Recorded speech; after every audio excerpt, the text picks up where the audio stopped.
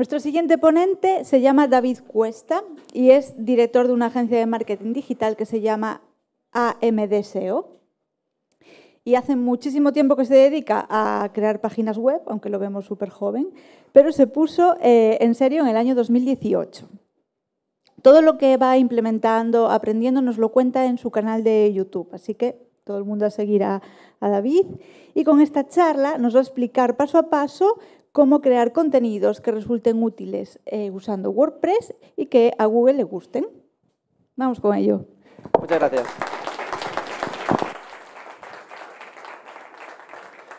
Muchas gracias a todos por asistir y vamos a hablar de SEO. Esto es un taller, así que quiero veros tomando nota. ¿eh? Menos chus, no hace falta que tomes nota, que tiene el brazo roto. Eh, hace un par de meses, o a principios de verano, fui a, un, evento de SEO muy importante de, España. Estoy hablando con mi compañero Miguel, una persona poco conocida, pero muy reconocida del sector, y discrepábamos en cuanto a lo que era el SEO o, cómo se aplicaba el SEO. Él me decía que para él el SEO era desentrañar eh, ese algoritmo de Google, entender qué era lo que el Google valoraba y nosotros entonces replicarlo para nuestros contenidos y daba igual qué contenido fuera porque entonces así lo posicionabas. Para mí eso no es el SEO. Para mí el SEO es alinearnos con lo que Google quiere mostrar en la primera posición. Y lo que Google quiere mostrar en la primera posición es el resultado más útil para aquel que busca algo tú cuando buscas algo en Google tienes una intención. Pues lo que Google eh, quiere es resolverla. Quiere que lo primero que te muestra sea lo mejor que te puede mostrar. Mi intención aquí es ver cómo vamos a aplicar el SEO para no solamente hacer el mejor contenido, que bueno, ya sois todos unos creadores de contenido fantásticos, sino para que además Google pues, entienda lo que tú estás escribiendo, entienda qué es lo mejor y de esa forma lo posicione. Ya me han presentado, pero mi nombre es David Cuesta. Ya me han presentado de todo, pero bueno, eh, soy youtuber de, SEO, sobre todo. Dirijo una agencia, también un club de webmasters y en los últimos cuatro meses, sobre, todo, me he dedicado a ser padre. Tenéis aquí las, mis redes sociales por si queréis seguirme y arrancamos. Vale, como decía, el SEO y la utilidad están muy relacionadas. Por eso que decía, ¿no? Porque eh, Google quiere que eh, los resultados que muestra sean lo más útil para el usuario. No voy a parar más aquí porque en la introducción creo que quedó claro.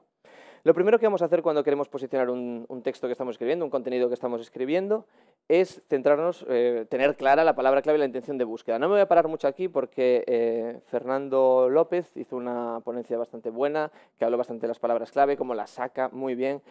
Y eh, la intención de búsqueda actualmente es más importante que las palabras clave. La intención de búsqueda es lo que el usuario realmente quiere encontrar.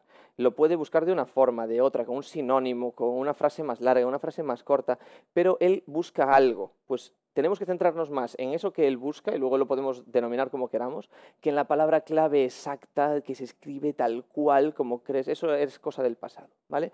Sabemos esto, sabemos de qué queremos escribir, es nuestro contenido y queremos resolver una intención de búsqueda del usuario. Vamos a trabajar. Lo primero, el título. El H1, el meta title y la URL. El H1 es el título. Ya WordPress en casi todas las plantillas, o todas, el título del post es directamente el H1. Y con los plugins SEO pues pasa un poco lo mismo. El título H1 directamente te lo pone como el meta title, que es lo que se va a mostrar en Google. Y la URL tiene un poquillo de diferencia porque la URL eh, tenemos que intentar que sea un poquito más corta, pero también tiene que tener esa palabra, eh, palabra clave principal y tiene que estar muy relacionada con el título. Estas tres cosas tienen que estar alineadas. No vale hacer un H1 que utilices una palabra clave, un meta title que utilices otro y una URL que pongas otra, porque eso no te va a funcionar bien. Eh, ¿Cómo no puede ser un H1? Un H1 no puede ser demasiado corto. Si yo quiero escribir un post sobre esto que estoy hablando, de cómo, salir en, eh, cómo hacer contenidos útiles para, salir en Google, no le voy a llamar escritura. Sí, voy a hablar de escritura, pero no le voy a llamar escritura porque nadie entra en Google y escribe escritura. Eh, tampoco, tampoco voy a utilizar una palabra clave que nunca jamás buscaría mi cliente objetivo. Mi cliente objetivo no quiere, no, quiere eh, el que va a leer ese post, no quiere buscar cómo escribir contenidos útiles. Eso eh, imagino que ya sabrá que lo que está escribiendo es útil. Lo que quiere es otra cosa, pues, cómo salir primero en Google o yo qué sé. Pero no, nadie busca cómo escribir contenidos útiles. Eh, tampoco vamos a utilizar un, titular de revista. Si escribes algo así, lo vas a petar. Eh, o ya verás qué bien va a quedar el, texto que vas a hacer. Y tampoco nos vamos a pasar de clickbait, ¿vale? Esto queda muy mal. Cinco trucos para escribir usando SEO, el último te sorprenderá. En, cambio, vamos a utilizar eh, títulos que sean lo más alineados posible a lo que creemos que nuestro, nuestro cliente objetivo va a buscar. Tú te tienes que poner en su piel y decir, yo si fuera esa persona que quiere posicionar y salir en Google, ¿cómo lo buscaría? ¿Cómo escribiría exactamente? ¿Qué pondría? Pues, por ejemplo, algo así. ¿Cómo escribir un post para salir de primero en Google? ¿Vale? Este, esta misma charla que estamos haciendo, yo escribí un post sobre todo esto y se llama así. O, por ejemplo, si estamos haciendo una web comparativa típica de nicho y tal, pues 10 mejores molinillos de café baratos. A lo mejor, bueno, el 10 ahí pues no lo busca exactamente así el, tu cliente objetivo, pero sí que busca molinillos de café baratos, mejores molinillos, molinillos de café, mejores molinillos de café. Entonces, aquí estás haciendo también una, ampliando un poco esa palabra clave para que tenga también un poco más de, longitud, ¿no? para que tengas más posibilidades de búsqueda. O, por ejemplo, si estás eh, ofreciendo un servicio, pues eh, es un servicio de un, negocio local, pues por ejemplo, Podólogo Infantil en Pontevedra. Pues servicio más ubicación. ¿Podrías darle alguna cosilla más? Mejor no, porque vamos a ser asépticos un poco con los servicios. O, por ejemplo, si estás haciendo un blog de turismo, pues mejores sitios donde comer, comer pulpo en Pontevedra. Perdonad. Em, pero bueno, hay veces que nosotros estamos escribiendo y también queremos darle un toque de creatividad, de originalidad, no queremos ser tan sosos, ser el SEO que llama a un puente el puente. Pues también se puede, tampoco nos podemos poner drásticos. Entonces, ¿qué podríamos hacer? Pues, por ejemplo, ¿cómo escribir un post para ser primero en Google? Haciendo contenido útil. La, charla esta se llama hacer contenido, eh, cómo utilizar SEO para hacer contenido útil. Eso es de lo que trata el post. Vamos a añadirlo también en el H1. No es parte de la palabra clave, pero le da ese ese empaque ¿no? a nuestro contenido, no solamente va a ser SEO. O, por ejemplo, 10 mejores molinillos de café baratos, disfrutarás el mejor aroma. No le vas a llamar al post disfrutarás el mejor aroma, porque nadie lo busca, pero sí lo puedes poner al final del H1. Si ves un servicio, yo prefiero dejarlo aséptico, ¿vale? Sin tonterías. Somos los mejores de Santiago. No, a ver, déjalo tal cual. Y si, tenemos un blog de turismo, también podemos utilizar las típicas técnicas del nicho, de meterle un número, meterle alguna cosilla más para intentar darle todavía más, fuerza a ese clickbait del usuario de sectores más competidos. Vale, sobre la URL tenía que meter un GIF de, de, Office, lo siento, ahí está. eh, cuando nosotros escribimos por defecto, el título te separa las palabras con guiones y te genera la URL. Y te quedan URLs muy largas. En, eh, Google, los parámetros que Google mide, no te mide las palabras monosílabas, eh, pequeñas, de dos o tres letras, no te las mide, las puedes sacar todas. En vez de hacer algo así, tan largo, pues vamos a hacer algo así. Pues, ¿Cómo escribir post, salir primero Google? Ya está, queda una URL más amigable. La puedes leer entera sin, sin, sin esforzarte. Eh, luego, para optimizar todo esto, yo utilizo un plugin que se llama Rank Math, que va bastante bien, a mí es el que más me gusta, y puedes mejorar ese meta title pues, para fijarte que no se pase de largo y no te quede demasiado largo. Puedes eh, ahí poner también la URL y una descripción que vamos a ahora con ella. Después del H1, para mí eh, lo más importante ya, está, ya está dicho, que es el H1. Si tú haces bien el H1 y luego metes contenido, Mm, es posible que te posicione, ¿vale? Luego lo, demás, bueno, jerarquizar bien, los H2, es lo que vamos a ver ahora, pero ya tenemos la mitad hecho. La entradilla. La entradilla es el primer párrafo. Eh, ¿Nunca os ha pasado que habéis buscado algo y de repente el primer párrafo, eh, veis allí en Google, veis que en la, en la, meta description veis algo y dices, esto es lo que yo quiero? Solamente eh, me faltan dos palabras después de los puntos suspensivos y tengo la respuesta. Clicáis y no está por ningún lado ese texto. Se ha ido para siempre. No hagáis eso, por favor. La entradilla va a ser el primer párrafo y tendría que ser lo mismo que la meta description. Esto tiene una ventaja además, que es que los plugins de SEO eh, por defecto te cogen el primer párrafo. Entonces ya no tienes ni que preocuparte en hacer una description tú personalmente, sino que como ya te coge el primer párrafo, ya está, la meta description hecha. Entonces vamos a hacer un primer párrafo que atraiga al lector, que le, llame, eh, que repita la, la palabra clave en la primera frase, una cosa sencilla, pero que atraiga al lector, que le anime a leer el contenido. Tenemos por aquí un ejemplo. Hoy te explico cómo redactar un artículo teniendo en cuenta el SEO para lograr aparecer en las primeras posiciones de Google con un sencillo truco, haciendo contenido útil. Ya está, venga, chantado allí. Nos vemos en la siguiente. Y esto segundo es, para mí forma parte de la entradilla, que es todo lo que pongo antes del primer H2, que es un párrafo que yo lo pongo para intentar salir en el Feature Snippet. El Feature Snippet es la posición cero de Google, que a veces te saca, buscas una palabra clave, eh, buscas algo, y Google te muestra un resultado que, pues en una cajita, y te pone un listado, te pone la respuesta, intenta darte respuesta antes de los resultados. Pues este segundo párrafo ayuda para cuando ese, ese feature snippet, que solamente sabes si estás en las primeras cinco posiciones, pero cuando lo puedes obtener es más fácil si este segundo párrafo tú lo tienes. Es un párrafo que tiene que ser aséptico, no nada coloquial, sino parece, tienes que parecer una definición de la RAE, prácticamente, ¿vale? Muy aséptico, pues y que resuma toda la intención de búsqueda de tu artículo. Por ejemplo, para aplicar el SEO al redactar un artículo y lograr salir en las primeras posiciones, es indispensable que el contenido sea útil. Aplicando las buenas prácticas del SEO sobre contenido de utilidad para el usuario que busca, se puede lograr que un post salga arriba cuando se buscan determinadas palabras clave en Google, de la RAE. Y yo todavía le doy todavía más énfasis para que Google lo vea con HTML distinto y todavía diga, vale, esto parece que es el resumen del post, dándole un fondo de, de WordPress súper sencillo. Otra cosa que va antes del primer H2, al menos a mí me gusta ponerlo ahí, es el Table of Contents. Esto lo podemos poner eh, con un plugin sencillo que se llama Easy Table of Contents o con Talk Plus. Se pone casi automáticamente y te va a sacar los H2s y H3s del post directamente en una tabla de contenidos. Esto te sirve de dos formas. Por un lado, te ayuda, si lees esto y tiene sentido, es que lo has, lo has hecho bien. Has jerarquizado bien el contenido, tu post debería de estar bien. Muchas veces hacemos el post, vamos aquí y decimos, esto está fatal, esto no, tiene, no hay por dónde agarrarlo. Y también te va a ayudar por otro lado, que es que eh, Google tiene un Rich Snippet, que es una eh, información añadida que saca en los resultados, que te enlaza a estos puntos. Te ayuda mucho a añadir eh, enlaces internos dentro del post. Esto también le da, le da juego a Google para entender, bueno, es, ayuda bastante bien en, cuanto al SEO. Vale, los H2s. Los H2s, como decía antes Lidia, los H2 sirven para jerarquizar el contenido. Es decir, digamos que tenemos el, contenido entero que se define en su totalidad con un H1 y ahora lo vamos a dividir en partes. Cada parte es un H2. Los H2 se pueden utilizar para potenciar la palabra clave principal del post, pues yo qué sé, si dices 10 molinillos de café baratos, pues molinillo de café 1, muy barato, molinillo de café 2, eh, divides, pero siempre es la misma palabra clave, o puedes utilizarlo para sacar en fases, lo que, es decir, cubrir la, necesidad de tu, de tu usuario o eh, resolver esa intención de búsqueda en pasos. En este caso, que es un tutorial, vamos en pasos. Pues uno, hacer no sé qué, dos, hacer no sé cuál.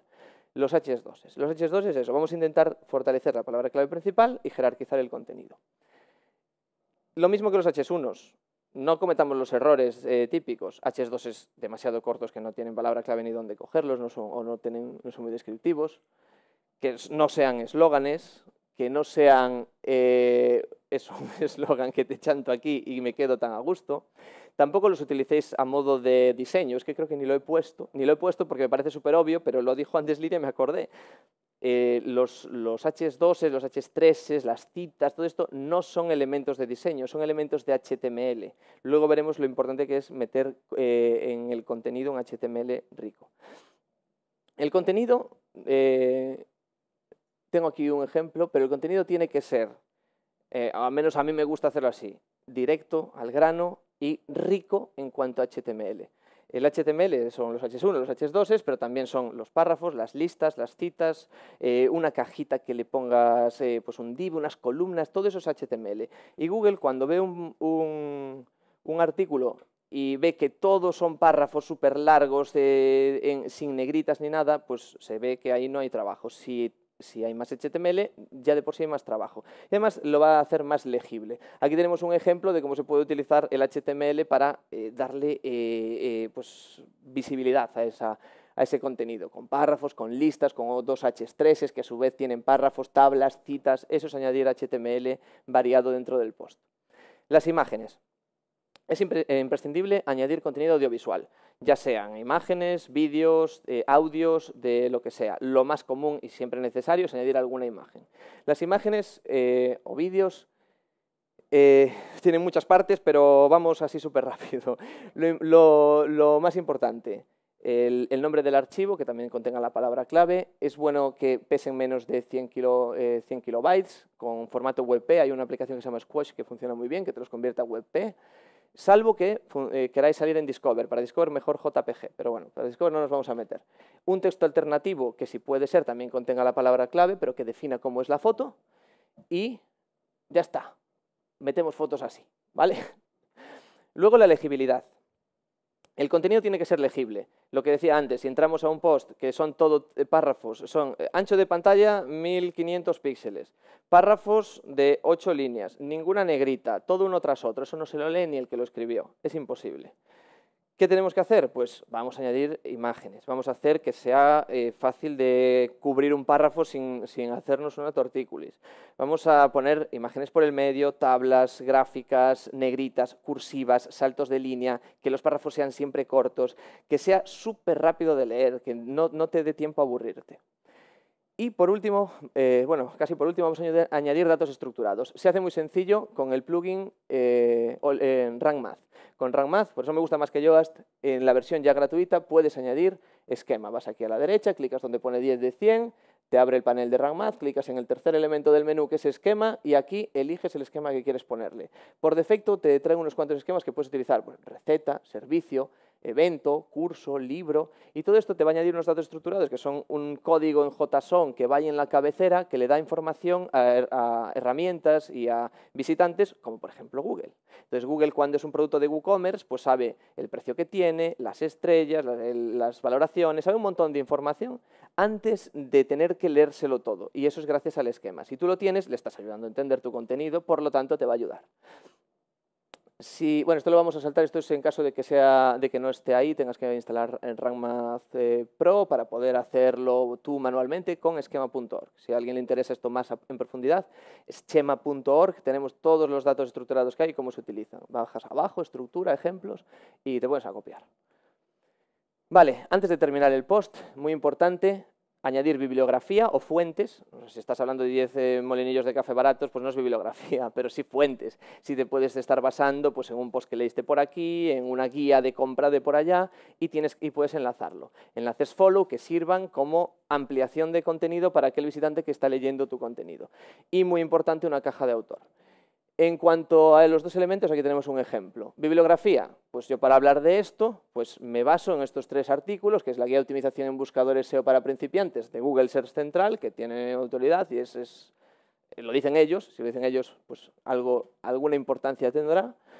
Los 200 factores que Google tiene en cuenta para posicionar tu página, que esto es de cuantos.com, es un artículo muy antiguo y un curso eh, práctico de redacción SEO. Vale, pues tenemos unas fuentes en las cuales yo me baso para decirte todo esto que te estoy diciendo aquí. Y luego una caja de autor. Yo utilizo H2S para esto, para bibliografía y autor de post, porque me forma parte de la jerarquización de mi contenido. En el autor del, eh, bueno, autor del post con el nombre y luego vamos a poner una foto cuyo alt tiene que ser también tu nombre y un pequeño currículum cortito de por qué, es decir, por qué, estás escribiendo, por qué eres tú el que estás escribiendo esto, qué, sabes, ¿Qué, has hecho. Y a mí me gusta mucho un enlace hacia LinkedIn, follow, normalito, hacia LinkedIn. LinkedIn trabajado, por favor. Vale. Una vez hemos terminado, ya está terminado el post. ¿vale? Ya este post para la victoria. Vamos, eh, lo, he publicado ya a las 3. Se llama como eso, de cómo salir en Google de primero, a ver qué tal funciona. Igual Dentro de un año tengo que venir a contar el éxito del post. vale, ¿qué tenemos que hacer después? A mí me gusta ir a la Search Console a indexarlo. No hace falta, si tienes un sitemap que está bien subido a Search Console, no hace falta ir allí y decirle, Google, indexamelo. Pero a mí cuando hago un post bueno me gusta ir a indexarlo, que es vas a la Search Console, coges la URL, la pones arriba del todo, le das a inspeccionar y te va a decir, no aparece en Google, normal, la acabas de crear. Le das a solicitar indexación, se queda pensando un rato y te dice, se ha solicitado la indexación. Vale. Google ya sabe que lo has hecho, que eres, tú, es tuyo y ya puedes estar tranquilo porque Google lo va a indexar y lo va a posicionar en cuanto vea lo fantástico que es.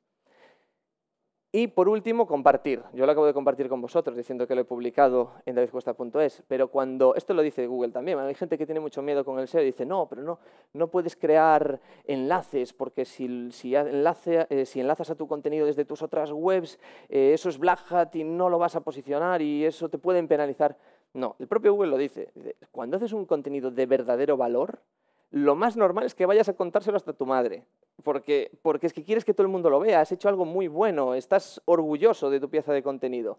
Compártela en todas tus redes sociales. Si tienes otra web que hable de lo mismo, pues también, oye, mira, pues noticia, he sacado este, este pues tiene una newsletter, lo pones en la newsletter, lo compartes por todos los lados, incluso das la vara por Twitter para que la gente entre y lo lee.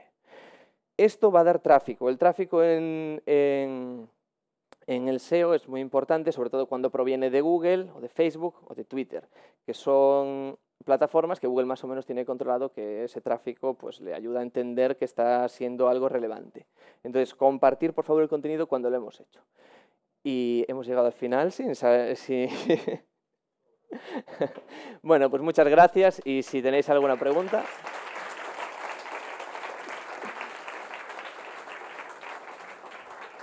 que ya sabía, yo me embalo, me embalo. Genial. ¿Preguntas? Micrófono. Eh, primero Manolo por ahí y después por aquí. Por allí. Vosotros dos después, ¿no? Vale. Muy buena la charla, David. Ha estado muy bien. Gracias. Solo una duda, sobre todo al final con la bibliografía. Creo que has repetido un par de veces con LinkedIn y la bibliografía. ¿Enlaces follow? Sí. ¿Enlaces follow? ¿No follow? Follow. Eh, bueno, la, idea de los enlaces follow y no follow es la siguiente, es muy importante. Los enlaces internos de la web que lleven a otra URL de tu propia web, siempre follow, nunca no follow, da igual a dónde lleven, nunca no follow, siempre follow. Y eh, después, si queremos poner un enlace que va hacia LinkedIn, hacia redes sociales, hacia un artículo, ¿cómo saber si pongo follow o no follow? La, la pregunta es, ¿es útil para esa persona que ha llegado a esa URL? Si la respuesta es sí, va en follow. Si la respuesta es no, va en no follow. Por ejemplo, una publicidad es útil con lo que estás hablando, no lo es, no follow.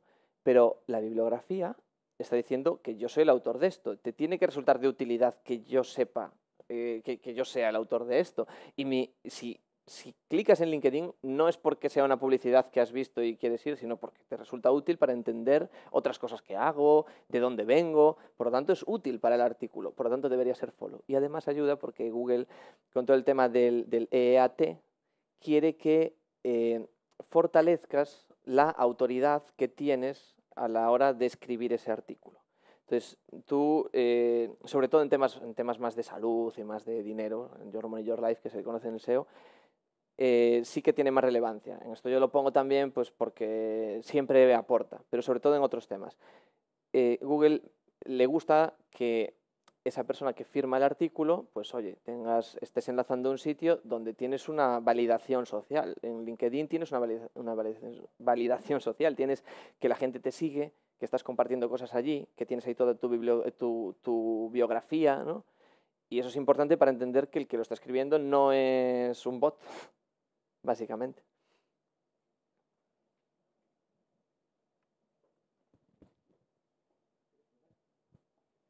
Has hablado antes de la indexación, ¿no? Que lo hacías a mano en Ser Console y todo eso. Cuando el post es bueno. eh, tiene una opción que es el Index Now. ¿Eso realmente funciona? Eh, por lo que tengo entendido de un tutorial que sacó Emilio de Campamento Web, eh, eh, sí que funciona. Tienes que meter la API de Google Cloud, hay, que, hay, que, configurarlo y tal, sí que funciona. Sobre todo, esto es eh, la indexación básicamente es que una URL que acabas de escribir se indexe significa que salga en Google, que pueda salir. A lo mejor sale de posición 200, pero puede salir en Google. Esto últimamente, en el último año, tuvieron muchos problemas. No había forma de que te lo indexara, sobre todo en eh, webs nuevas, que les falta autoridad y todo esto. Ya no hay tanto problema, ya se está indexando un poco mejor. Pero el instant indexing intentaba luchar contra eso, para intentar que nada más escribieras, pues lo que te hace es que te da señales para que Google lo vea y entonces lo indexe más fácil. La idea es, si el post es realmente malo, bot o estás publicando mucho, Google puede que te indexe porque lo ve el instant indexing y a los dos días te desindexa. Entonces, tampoco es una cosa súper relevante. Pues yo tengo que decir que iba a preguntar lo mismo que él. no. Jura. Pero bueno, tengo otra pregunta. Pero me las quita, cabrón. Em, a ver, yo actualmente en la empresa donde estoy, el SEO es muy malo, ¿vale? Eh, también estoy trabajando en ello, obviamente. Eh, pero también me, me da curiosidad porque veo que mm, hay veces que esta página, en concreto de esta empresa, se está posicionando bien, coge una atracción de unas 3.000 visitas y a nivel de arquitectura de H1 es pésima. Pésima hablamos de que no tiene H1, de que o lo tiene repetido o tres veces repetido y aún así eh, le funciona bastante bien. Y es en plan de, claro, eh, obviamente le voy a decir a, los jefes que hay que cambiar esto, pero claro, eh, muchas veces digo, ¿en qué me voy a basar si veo que también la página está, está cogiendo tracción? No sé más o menos tú cómo lo ves o cómo lo tratarías o por dónde empezarías allá. Google ya no es lo que era, ¿vale? Google era un, eh, sigue siendo muy malo y falla muchísimo, pero no es lo que era. Google funciona mucho mejor, tiene IAs muy buenas que entienden tu contenido, entienden lo que escribes, entienden perfectamente y, cuanto más relevante y mejor posicionado estás y más tráfico tienes, más eh, capas de, bots te pasan por tu web para entender de verdad lo que tienes y para entender de verdad que todo esté bien hecho y, y entonces entiende muy bien tu contenido. ¿Qué pasa? Eh, en webs más pequeñitas, en URLs que no están indexadas, no lo entienden. Por lo tanto, tú tienes que intentar hacerlo todo muy bien desde el principio. Pero cuando una página ya está posicionada, igual pasa de vez en cuando, eh, ya ha entendido tu estructura y, te entiende. ¿Qué dicen los de Google? Recientemente dijo eh, John Muller, que es uno de los que hablan en YouTube y por ahí oficialmente sobre SEO en Google, dijo que los H1 no servían, los H2 tampoco, que Google ya lo sabía todo y que no pasaba nada. Lo que importaba era el meta title. Claro, aquí hay una trampa, que es que el meta title desde hace año y medio ya no lo pones, lo pones tú, pero Google puede cambiarlo si le da la gana. Entonces, ¿qué pasa si no pones un H1, eh, pones un texto en grande, pero en grande con CSS, dándole ahí al botón de agrandar letra en WordPress o lo que sea, y justo después eh, pones otra frase que no tiene nada que ver, eh, o justo antes, o en el menú, o en algún sitio, porque la web está mal hecha. Pues Google te va a coger de meta title lo que le salga de las narices y te puede coger pues, la segunda frase, lo de arriba, tal. No tienes H1, no le estás diciendo, oye, quiero esto, quiero este meta title. O el meta title es distinto que el H1 que estás utilizando. Que entonces Google a lo mejor te coge el H1 que tienes en vez de cogerte el meta title. O te coge el tercero. Te coge un sobre. Yo he visto cosas en plan un, un shortcode de, de, title, ¿sabes? Cosas de estas las hace Google cuando son URLs recién salidas. Si ya tienen mucho rodaje pues Google ve que todos son H1 y ya entiende, bueno, el primero será un H1 y el resto serán H2. Pero recientemente lo está entendiendo. ¿Pero debería cambiarse o no? ¿O lo dejó con 3H1? Eh, no, tener una buena estructura de HTML es bueno. Es bueno. Mm. Sí, vale, gracias. Y por cierto, hablas casi igual que en YouTube, ¿eh? Pero muy bueno, muy bueno.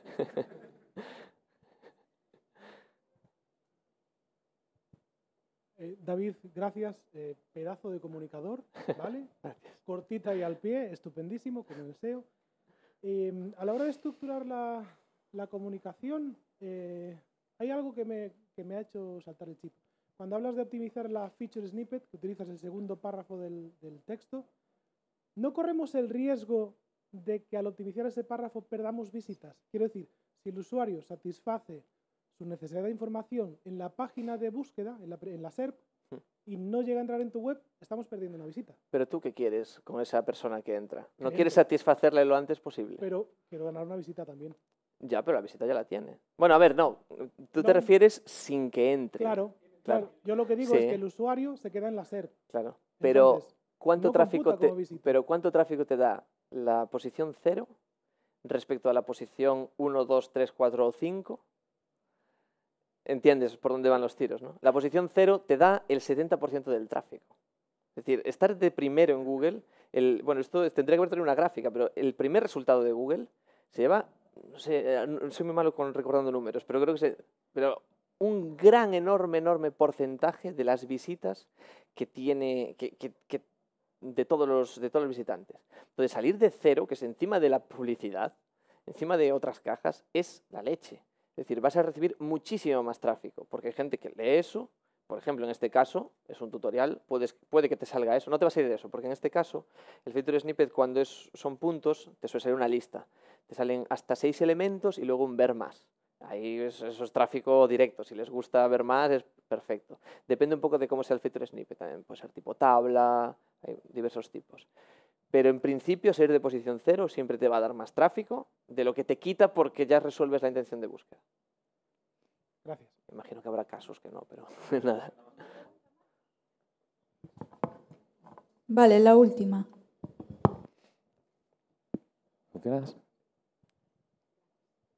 Hola. Eh, mi pregunta es sobre el contenido evergreen. Está de bueno, dicen que es mejor hacer contenido evergreen porque no caduca y puede mantenerse en Google mucho tiempo. Pero mi pregunta es, una, bueno, una especie de paradoja que yo tengo. Google dice que beneficia, beneficia si tienes un post que está en Google siempre y que, y que, bueno, que tiene visitas. Pero no te penaliza si pasa mucho tiempo sin actualizar ese mismo post. Es decir, ¿recomiendas actualizar el post aunque funcione bien para que Google no piense que es un fósil y que está ahí por años y años? Depende. Depende hay temáticas que son más tendentes al evergreen, hay temáticas que son más tendentes a la actualización.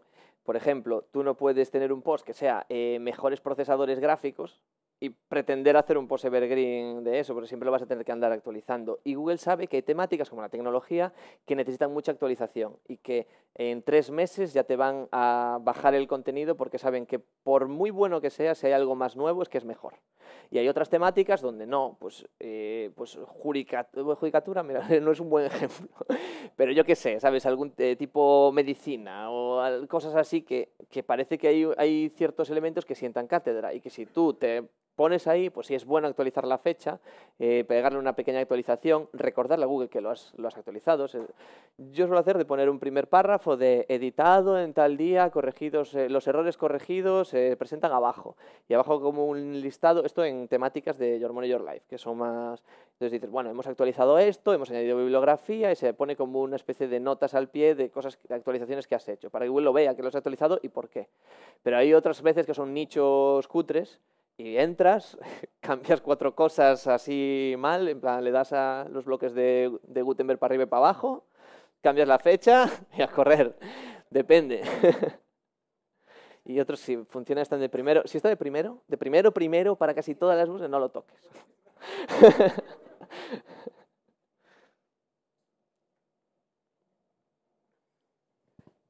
Mi premio. Gracias. Bueno, pues muchas gracias por la charla, David. Nada, gracias a todos. tu detalle. Qué guay.